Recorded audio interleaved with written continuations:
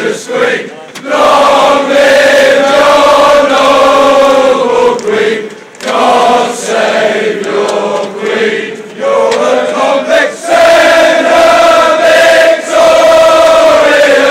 happy and glorious, long to reign.